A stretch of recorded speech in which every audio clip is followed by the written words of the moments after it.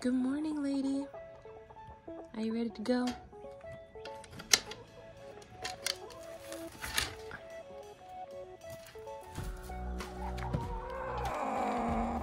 Are you doing your business? Sorry, girl.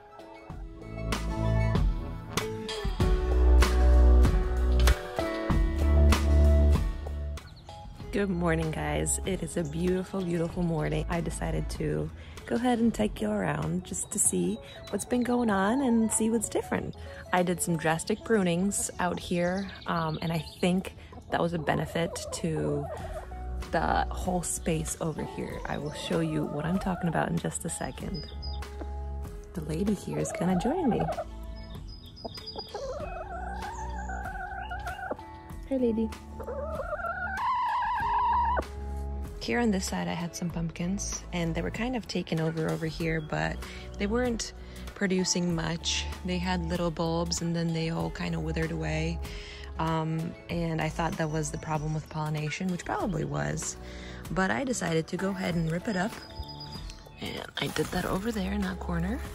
And so I left um, two plants of cucumbers and they had taken over this whole trellis and look they're finally starting to produce. I mean it's peak time for cucumbers and i haven't even harvested one yet. So hopefully this helps and i will finally get some cucumbers.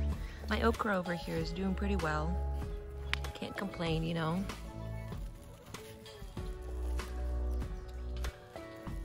No flowers yet or anything like that. I think this was a sign of a flower but it dried out, so patience is key, I guess. Yes? Can I help you? I love how you just joined me here.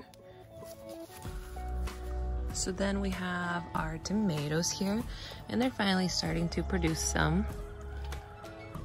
Here's one, and here's another over here. So we got some. Uh, this cantaloupe here, I can't decide whether I should pull it out and give the rest of the plants here a little bit more room or leave it be. I'm not sure, but I mean, it's doing pretty good. Yes, I hear you. Don't have any treats for you right now. And then we have some peppers. So these two are the peppers that I topped. Um, and they're producing some good um, flowers here. Here's a cluster and here's a cluster. I think they're doing pretty good. Same as here. Um, however, the ones that I did not top have already produced flowers, flowered, and produced some peppers. I mean, look at that. It's pretty wonderful. I love it. These tomatoes have been doing wonderful. I love the smell of these, so fresh. Beautiful, beautiful clusters. I love it.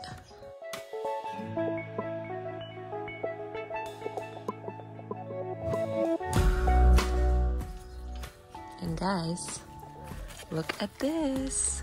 I got a blushing tomato. And I mean, I think this is a yellow variety because it feels quite soft right now as it is. I don't know. I think I'll give it another day and just pull it and see how it does. I'm really excited. I'm so excited. And these tomatoes are a weird shape. I planted two or three varieties of different tomatoes. Uh, of course, did not label anything, so we will see what happens, you know? As you remember in the middle, I planted some flowers and now it looks like a jungle, so you can't really tell where the middle is.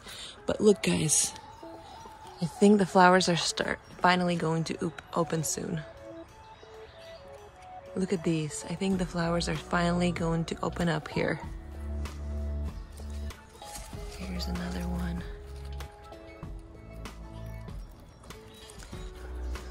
A lot of people said that this looks like dill. I don't blame them, it does look like it, but these are flowers. These are meant to attract some pollinators and prevent things like this. Empty um, flower clusters. So hopefully it works. And then we have this garden. I'm sorry, I didn't show you, but I did harvest my first zucchini. If you don't follow my Instagram, go ahead and give it a follow. It's at Garden a Little. And I harvested my first zucchini, and it was a good sized zucchini. And I thought maybe I will get another one over there, but I think this one is again shriveling up and dying, just like the rest of them. So if I got one zucchini for the whole entire season, I think that's a success because it's my first time growing it. The rest of the space is very crowded, as you know. Um, did not space properly, but here's an eggplant. Um, you know, a tomato here in the midst of cantaloupe jungle. But these cantaloupes are looking good, and pollinators have been really loving them. So I'm really hoping for some good, successful, grown, homegrown cantaloupes. That would be ideal. But yeah, and one of these plants is a cucumber. So as you can see here, that's a little baby cucumber. Oh my goodness. You just want to be a center of attention, don't you? then some more tomatoes, some random girls out here. I don't have anything. Um, but yeah, look at these fuzzy babies. They're looking so good. And I got some baby tomatoes. By midday, this Swiss chard is covered by bees and pollinators, so that's why I'm out here in the morning. But it's looking really good, and I really hope I can save seeds from this.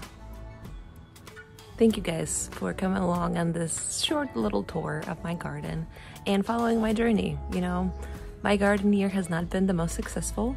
Uh, and definitely probably the least successful out of everybody that I'm watching. But you know, I'm learning. I am teaching myself. I got two chickens. They've been laying me eggs. Thank you, ladies. Um, and you know, I'm learning as I'm going. I'm trying to eat healthier, coming up with recipes. So, you know, as I learn, come along and we'll learn together. Thank you for hanging out with me, and I'll see you next time. Say bye.